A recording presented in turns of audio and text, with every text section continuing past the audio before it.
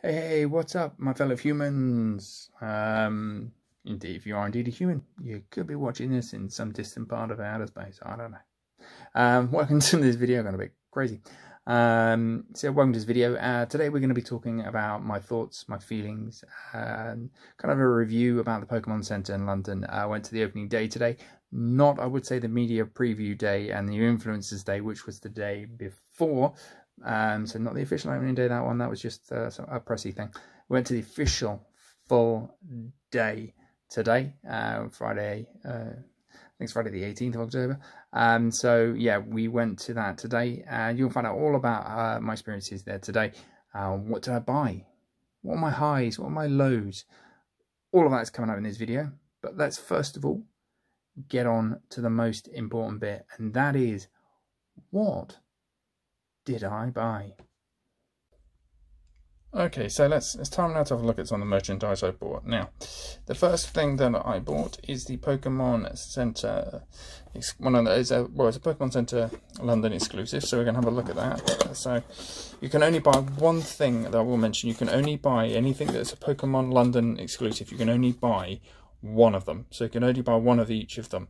You can't buy like say two plushies, uh, Pikachu ones, or two um, pin badges. You can only buy one per item, which is good, but it still didn't stop them running out though of stuff. So that's that. But this is a mug. It's an exclusive uh, Pokemon London mug. It's pretty cool. You see, there we go. Pikachu in various forms. Uh, and just really kind of cool.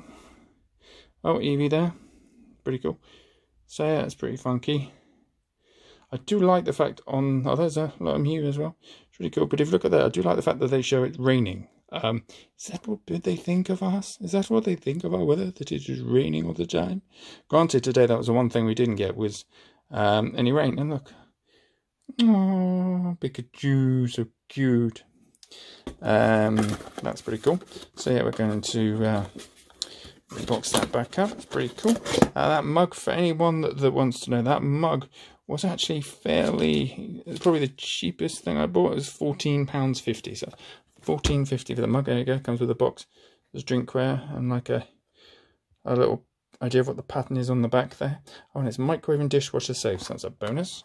So go. The the next thing I bought, uh, and surprisingly, you'll be shocked to know this is probably the most expensive thing I bought. This ranked in at about twenty four pounds. Now, this is the t-shirt. is in large. Uh, it's a Pokemon London exclusive t-shirt on black.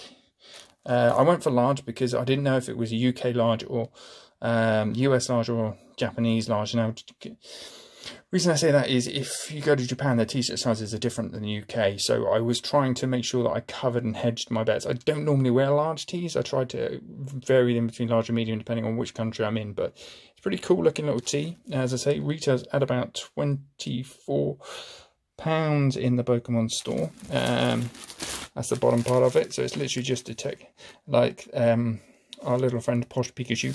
Um, I nearly said Detective Pikachu then, but that's because I had loads of Detective Pikachu merch there. Part of me was beginning to think that they were just trying to get rid of that. But anyway, so that's pretty cool. And finally, yeah, only got three items because it's sold out of the bin badge I was dying to get. I got one thing which I definitely was really aiming to get. It is, of course, you probably saw it there when I brought it in, Pikachu plush. She's so cute. This this was twenty pounds. It's actually quite good. Um, I was quite impressed with the price of it. It is just she's adorable. I'm sorry. I mean, it is totally adorable. You've got the little umbrella. Look at that. It's so cute. Psyduck umbrella. So cute. Um, and the tail on the back. Uh, the bowler hat's quite cute. Fabricy, faulty bowler hat there. So yeah, that's pretty cool. Um, it's got a little tie. There's a Pokeballs on the tie. I don't know if you can see that there. So adorable. Really cool. So yeah, that was pretty cool. Not bad for 20 quid. I was actually quite impressed with that because sometimes you can run, these can run quite expensive if you try to buy them online on eBay, I think. Uh, when we were in the queue, we worked out that they were selling these on eBay at around about 30 to 40 quid already. So people trying to get their money's worth. So that's pretty cool. I was quite for that. I kind of told a little bit of a white lie there because I did buy something else. I bought a carrier bag because they were pretty cool. So we'll have a quick look at the carrier bag. Obviously, outside is the, next game, which is the Pokemon Sword and Shield, out on the 15th of November there, quite handily pointed out, uh, which is around about the time the store closes as well. Um, so, yeah, uh, And then on the other side, a giant. This is the larger bag that they do. I've got a smaller bag on the, which is on the floor currently, um, but got some other bits in it, from, not from Pokemon Center. But as you can see, there, here's the bag, kind of giving you another look at good old London Pikachu, and uh, then it's got Pokemon Center London on it. So that's pretty cool. Uh, I did like that. So yeah, that's pretty cool. That was uh, surprise, surprise. You actually had to pay for these bags. Um, yeah, I know it's insane. I had to pay twenty five pence per bag. So whether it's large or medium, it's twenty five pence. It's not the UK standard five or ten p, depending on where you shop. It was actually a completely different um, thing. So it's 25p a bag. So that was somewhat of a surprise to me. But, you know, I'm there. I need the bags to get them home. And also the bags are quite collectible. And so I thought, yeah, why not? I'm going to grab two. Uh, but definitely got the large one because I got some bags from Japan which I kept, which are really cool. I didn't check if it's similar to the bags in Japan now because the reason I say that is in the bags in Japan, when you go to a Pokemon Center, the bags there have on the inside here, normally on the inside bits here, they have like Pokemon inside it. Uh, but sadly it doesn't no they didn't. So essentially there's just your bog standard plastic bag there with the pokemon designs on it. So it's not as collect it probably will be collectible for some but not as collectible as the japanese ones. And my this is just my humble opinion really. Um so it's my humble opinion me. Um so yeah it's a cool cool bag though nonetheless. 25p depending on you know it doesn't depend on size it's small or large is 25p so yeah so that's that pretty cool i'm pretty happy with uh, what i've got there um yeah, so really cool. So yeah, that's uh, but now we're going to talk about the actual. Yeah, let's look at the highs and lows of this experience.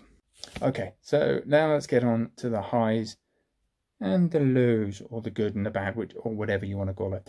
Uh, right, Pokemon Center London, uh, or Pokemon Pop Up Shop, whichever you want to call it. Now, for me, uh, I'm going to start off. Let's start off with kind of like the let's start off with the lows okay so the lows. Um the queue it what okay it was always going to be popular that's let's not kid ourselves it's pokemon. It's a massive phenomenon even now even after over 20 20 years it is huge.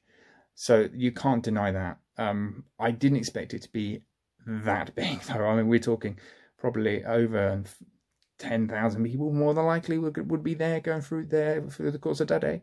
That was crazy. So yes, there's going to be a queue. What I didn't expect was that kind of Westfields didn't prepare for this. Neither did the Pokemon Center. Their queue management was awful. When you get there at nine o'clock, uh, like half nine, quarter to ten in the morning, and there's they direct you. They're assuming you know your way around this Westfield Center, and they're directing you to places you don't have a clue about. There's no signage. There's no real security guard presence until you stumble across them. I mean, we, you know, I came in with a, when I walked into Westfields originally, I bumped into a couple of people looking for a Pokemon, Pokemon Center. And then we got separated when we got sent away from the store. And then again, I didn't see them for about five hours after that. And then when I saw them, they were still about 100, 150 people in the queue behind me. And and I was like, how did that happen? Because we literally were together at the Pokemon store. We left when we got sent. We just got separated because we both got lost. Both groups just got lost trying to find it. So that's a low for me. It really was. And it didn't start figuring out the queue thing until about three or four hours in. And that's that's not good. I mean, I, Westfields, come on, you're going to need to get this right now for day two, please. And I think you will. So kind of, please, I'm glad they started to get the idea that this is going to be busy, but they could have taken a bit less time in doing so, and it would have kind of benefited the other people that were there today. So, but I will say this for their credit, the security staff and the staff at Westfield were fantastic. So, straight a little way from the lows there, but they were very good. And despite the fact that some of them had no clue what Pokemon was, they got a damn education today because um, it was that was lovely. Um, so continue with the lows for me. The fact that we were promised that none of the merchandise would run out because they limited it to one item from each of the ranges. So like one London plush, um, one London t-shirt. So anything from the London range was one per person. Great, love that. Thanks. However, when we get there and they've run out of that and they're not going to restock it, that's bad because essentially, if you've got the stock out the back, you should put it in because not just for my sake, But the people that have been queuing behind me for like eight to nine hours, because that's how long the queue got to at one point, nine hours, they could walk into a store with absolutely nothing because you're not restocking. That's bad. So that's a real low for me because you've got to be consistent with what you're putting out on the shelves. You've got to fill it up. You've got to keep that stock level up. If you haven't got the stock, that's fine. But don't make promises like they did because we had a Pokemon store guy who came out and was on walking up and down the queue taking videos and counting on a little clicker. And I kind of twigged that he might be working for the store and I asked him, he said, Yes, I am. Um, we're just trying to get things sorted out. Don't worry, we'll have stuff for you guys when you come in. You'll have we'll have all the exclusives. They'll be still there. We've we've count we've we kind of planned for this. Um, and I was thinking mm, you didn't because you you've been all looking pretty shocked when you've been walking up and down the queue several times. Uh, so yeah, that was kind of a downer for me, and I think you really do need to um, Pokemon Center. You're probably not watching this. I don't blame you because you're probably exhausted. Bless you. Um, yeah, it, you need to be more open and honest with your stuff. I think there for me. Um, so yeah, that was another low. Um, yeah, the pricing was a bit of a one as well, kind of a low for me because I understand it's it's Pokemon stuff is limited, so some of it I get. I get like having to pay twenty pound for a plushie. That's fine. The quality is good. I'm more happy with that. But stuff like a T-shirt, which ranks in more than that at like twenty four pounds, that was that was quite expensive. And then a a London tote bag thing, which quality looked okay, and I nearly bought it, but again, £24. So it's kind of very inconsistent, really. Um, I was expecting the plush to be more, so I'm kind of glad that it wasn't. But uh, there you go. And then 25p for a carrier bag. Uh, I don't know. Yeah, the carrier bags, as I said earlier, were collectible, so you can say that that's a fair price, if you will. But when in Japan, they literally just throw the carrier bags at you, and they're really, I mean, the Japan, Japanese carrier bags are amazing. So, and I have a collection of them. Um, so, yeah, I would personally say that you really, there's a difference there. And I, I, you don't mind, if they were as cool as the Japanese ones, I would be more than happy to pay, you know, a pound for them because they are really nice carrier bags. And I realise I'm saying that about carrier bags odd. But yeah, overall though, you know, that's just a small thing. 25p is 25p. It's not the end of the earth. And I'm happy with that. I really, but it was still a low. I mean, the pricing is inconsistent there realistically, I think, because you do need to focus on making sure that things like a t-shirt, I mean, the, some of the fleeces were ridiculous prices. I mean, I think I saw a fleece in there for 60 quid with that and, and and it didn't have much on, in the way on it and even again when we got there for that the stock levels of the fleeces were just rubbish they were virtually all gone so kind of you know i was looking at fleece i was like oh wow that's right i actually like this fleece. I like the fact that you know there's some cool things on this fleece. And i was considering buying it but they had none left. And they weren't stocking them up. And i even asked i asked two members of staff um, about it and they're like no we're not really and we're I've got anything back. And the woman looked at me and was like kind of like yeah we have but we're not going to restock it. And I'm like really should but anyway let's move away from that that low and move on to the next low really I I just think it was no I think that was that's probably it really I think on the lows thinking about it I mean I think that, that yeah that's enough. I think the lows are there. The highs, let's move to some positive stuff because, hey, we all need positivity in life. We all live in this crazy world we live in now. So let's look at some of the positivity. Positivity, the quality of the stuff. I mean, again, loving this. Um, in comparison to some of the ones I've got, this is great. I love the fact it's London. It's just great. So, yeah. The merchandise itself, some of it was really good. The pin design, which I really wanted and didn't get, gutted. But hopefully I'll try and find a way to get one. But uh, yeah, that was the designs of it are cool. I like them. They've really got them for the guns there. The variety was good. It was okay though. I mean, a lot of stuff. I mean, gutted again. The Charizard that I wanted that I saw, which was really cool. Plush had sold out as well. The only thing was, they had a Mewtwo plush, and the Mewtwo plush looked really weird. It did not look like Mewtwo. I'm there going, hmm, that's a really bad Mewtwo. Um, so yeah, I'd avoid the Mewtwo one like the plague peeps. Um, don't know why I said peeps there. What choice words? Anyway, uh, so yeah, that was uh, uh, one of the um, highs for me. I think the merchandise was good. Um, surprisingly enough, considering I wasn't really, and this sounds weird, but Pokemon uh, Sword and Shield, I wasn't really like massively wanting to play it, but I thought, hey, I've queued for like nearly six, just over, just under six-ish hours. I'm gonna go give it a shot, and I actually enjoyed it. Um, I enjoyed Pokemon Sword and Shield. What I had, I only had a ten minute limited demo. Limited demo. I didn't get to explore the world of it anymore, anymore at all.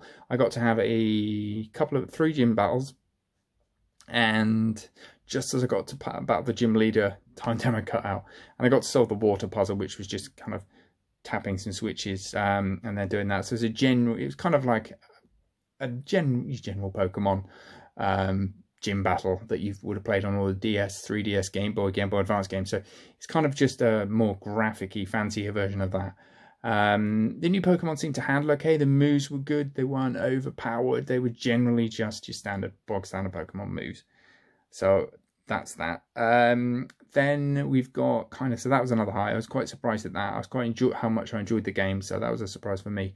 Um, so I may consider investing because I don't have one. I may consider investing in the Switch just so that I can actually play that game in more detail and see what it is. But I'm going to wait a little bit longer, possibly a Black Friday thing for me or a Christmas thing. I'm not too sure.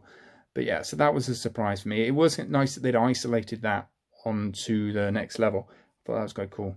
Uh, I kind of miss this from the lows actually. This is one of the things I wanted to bring up in the lows. Um, the actual structure of the store. Now, it is a pop-up store, so that is what, I, and that's what it's originally advertised with, and it's a Pokemon Center. It should have just been called a Pokemon pop-up store. It really should. I'm sorry. I know people are going to go, but it's Pokemon Center. it's Pokemon. It should have been a Pokemon pop-up store. It was not big enough. I mean, it, it literally was cramped at the best of times. Um, you struggle to because of the layout was kind of just like bins on walls in little coves. There was some Pokemon decoration all around it. I'll try and put some photos up so you can see that. Um, but it doesn't have the Pokemon Center feel. It really, really doesn't for me. Having been to some in Japan, there's a lot of attention to detail in them, the ones in Japan. I mean, the flooring has got like Pokeballs on it in Japan and everywhere else. Uh, and like as you walk in and on the windows and walls, they've got like uh, the entire Pokedex just like in wallpaper on it. So the attention to detail wasn't what I expected it to be. It was very, that's a low. I should have said that in the low, sorry. And a big low for me because you didn't get the Pokemon Center feel. So that's why I think it should have been called a Pokemon Pop-Up Store, not the Pokemon Center for me. And that's a, yeah. And I, that was one of the things that a lot of the people I was with picked up on uh, because because it kind of uh, this takes me to a high because really the high was that the people I stood in the queue with they were fantastic. I mean the community feel in this queue was a highlight 100% for me because there was we all had a laugh we were all giggling away even though we were queuing for a really long time in some really harsh cold weather there's no animosity everybody was fantastic we really, you know, had a good laugh, traded Instagram accounts, you know, became training friends, um, Pokemon Go. So it was all of that kind of thing. And, you know, there was a Pokemon YouTuber, um, and it was a walk by and we had a chat with them and everything. So it was all good fun. And that's one of the things that really, really made the day more palatable, really, was hanging out with these cool people and really, really kind of bonding in only the way the Pokemon community can and that's one of the things it's one of the reasons i play pokemon go still actively is because the community is fantastic and you know very welcoming very accepting it doesn't matter who you are what age you are. I mean that was one of the coolest things as well about today. There were people of all ages all races all colors all creeds all preferences all fandoms everything. And that is great for me. It's one of the reasons that i love pokemon still and I think it's one of the things people don't really take into account when they play Pokemon. You know, there should be no shame in being a Pokemon fan, in my opinion. And the community is incredible. So, big props to everybody who was in the queue with me today. I Can't remember all their names because it's been a hell of a long day. Um, but it was great fun. And that helped me get through the day. And especially when we are towards the end, our level, our energy level started to like lag a bit. You're like, ugh you know, we're British, we can queue for anything. But this was a long queue, even by our standards. Um, but yeah, it was cool. Uh, a big thanks to all of them. And one of the things I really, this may sound weird, but we were all holding spaces to each other. When we were outside, we were allowed to go to the toilet a lot more easily than when we were inside. Um, so we were like, if take turns. If one person wanted to go to the loo, we guard their space. And so when they came back, if the guard was, if there was a security guard nearby, they looked at them. We were like, no, they're cool. They just nipped to the loo. That's all right, guys. Um, so that was really cool. And at one point, literally, at one point, I was so cold outside when I nipped into loo, I saw, oh, Primark. So I ran into Primark and grabbed myself a cheap pair of gloves and a scarf and just, just to keep warm. it's quite funny. I ended up spending like nine quid on that. Um, but yeah, so that was cool. That was a high for me. Generally, I think that's the biggest high of the day for me, other than the cool Pikachu plush and stuff to add to my collection, which one day maybe I'll show you guys all of it. But uh, yeah, that was a highlight for me, genuine highlight, um, because I thought the community spirit just really elevated the day, in my opinion. Um, but yeah, I mean, overall, what I'd say is if you do want to go, because I realise we're getting on on this video, it's going over 20 minutes, but um, yeah, if you're going to go, I would say I'd certainly consider if you've got children, don't go just yet. Wait a few more weeks because if I'd estimate probably for at least a few days after the store's initial opening, it's going to be rammed like it was today. Tomorrow, because they were still turning people away. They ended up turning people away, so they'll probably want to come back.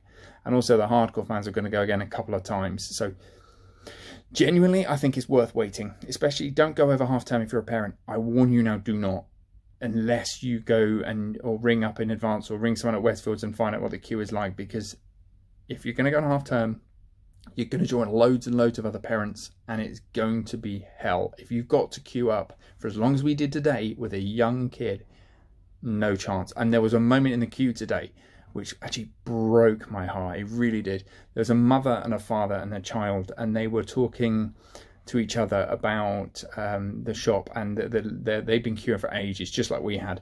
And they were telling the little boy, "Look, we're going to be having to go in a minute because we can't stay here." And you honestly, I could see the little boy's heart breaking, and he was showing it in his face in the way only young kids can do when they literally every other emotion is like in their face, and this goes on. I was like, "Oh my god, this is heartbreaking," and um, but thankfully they stuck with it and I saw them coming out of the shop and he was just like elated. He was like, oh my god, I got Pokemon stuff. He's like, yeah, brilliant. That was amazing for me um, to see that. But yeah, generally don't go during half term. If you're going to go, um, try and find out if there's a queue. If there is a queue, I mean, I, I say look on Twitter, hashtag Pokemon Center London was trending today. So I check that just to be sure. Um, maybe try and ring Westfields if you can, their information desk, and find out because that'll help you out. Um, take food, take drink, uh, I had a bottle of water with me, which lasted me fine. Um, so take that, try and be good like that. Um, wrap up warm, check the weather because damn, it was cold outside there, especially at one part of the queue where we were in the shade. It was freezing. Um, so yeah, please do kind of bear that in mind when you go there. Uh, next thing, take money. Uh, they take cash, they take card, so do take you know take plenty of money. Kind of yeah, check you've got the money in the bank first though, because some of if you're a big Pokemon fan, you may spend a lot of money.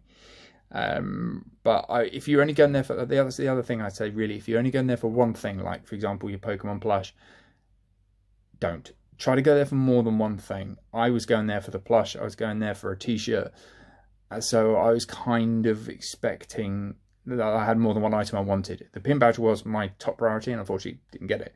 But because I had the other things on there, at least I walked away with something after that queue because I, even when we were queuing up, we were joking that regardless of how long we spent in that queue, you know, we spent six hours in that queue, so regardless of what was left, we were buying stuff.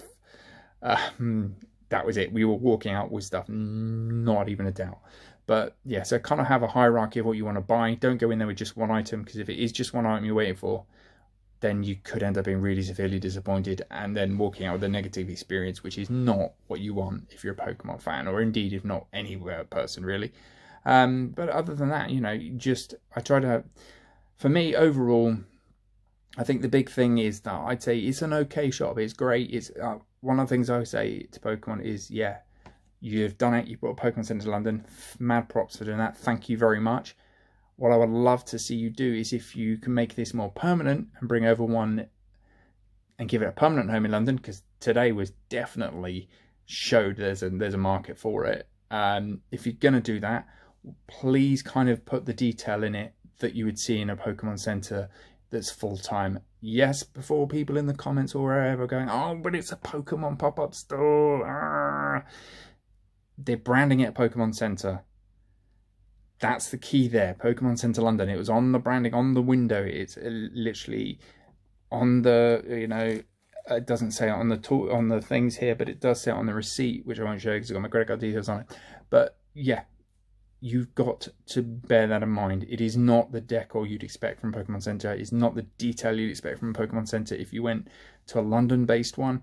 So, uh, sorry, sorry, London-based one, a Japan, a Japanese-based one. So that for me is something that everybody should be aware of. Is that it is not, not the level of detail you expect. If you think, if you go to one of these stores in the London one, you're going to love it. If you've never been to a Japanese one, don't get me wrong, you are going to love it because it is Pokemon, it's great.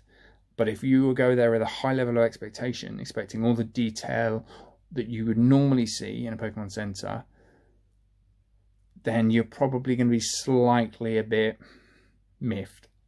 Because, I mean, granted, they did have a nice picture on the wall you could pose out like they do in some stores, but in Japan they have giant models that you can stand physically next to and take pictures. I mean, there's one with a Charizard a Mega Charizard with a Pikachu on it that you can stand next to in one of the Pokemon Legends band. There's a giant Rayquaza that's breaking through the roof in another, and you can stand next to that and have your picture taken. Here, the only Pikachu you could really have your picture taken with was in the window, so you could you couldn't even get near it. You literally had to stand in front of the window and to have a to have a picture and taken near it, and that was chaos because everyone wanted to do it.